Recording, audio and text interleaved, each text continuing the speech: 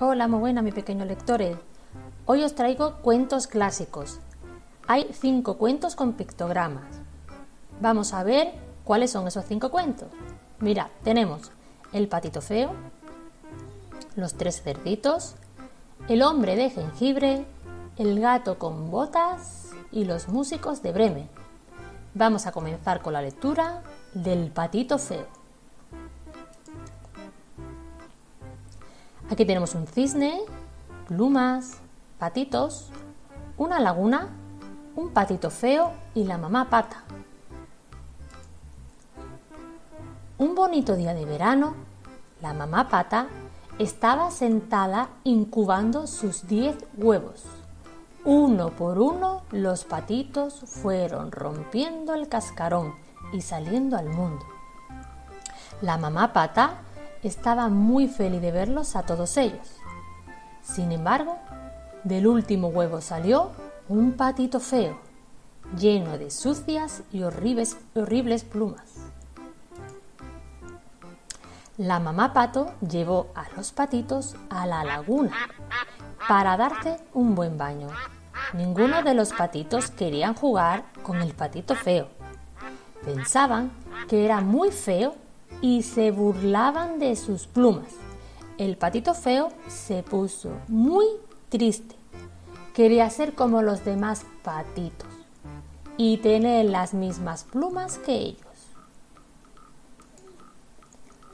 Un día, cuando llegó a la laguna, pudo ver su reflejo en el agua. El patito feo ya no era feo. Sus plumas marrones ahora eran blancas se había convertido en un cisne.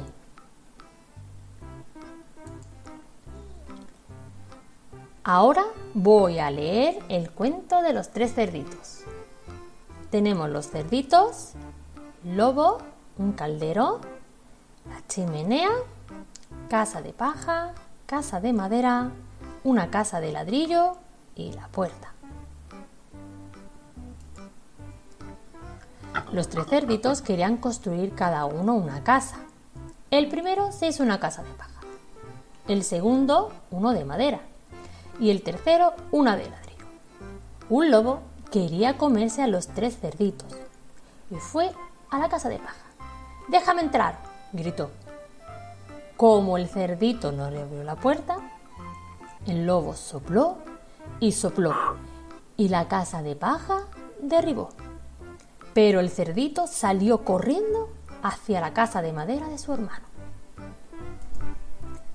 El lobo llegó a la casa de, madera y gritó, Déjame entrar. Pero el segundo cerdito bloqueó la puerta. El lobo sopló y sopló y la casa de madera derribó. Los dos cerditos salieron corriendo hasta la casa de ladrillos de su hermano. El lobo llegó y gritó de nuevo. Dejadme entrar. Los tres cerditos gritaron. A la vez. No. Y el lobo sopló y sopló, pero no pudo derribar la casa de ladrillo. Entonces el lobo decidió entrar en la casa por la chimenea. Pero los tres cerditos pusieron un caldero con agua hirviendo justo debajo. El lobo cayó dentro del caldero y huyó, y los tres cerditos vivieron juntos en la casa de ladrillos. Colorín colorado, estos dos cuentos se han acabado. Muy bien, mi pequeño lectores, espero que os haya gustado estos dos cuentos. Nos vemos en el siguiente vídeo. Cuanto más leáis, más sabréis. Un saludo.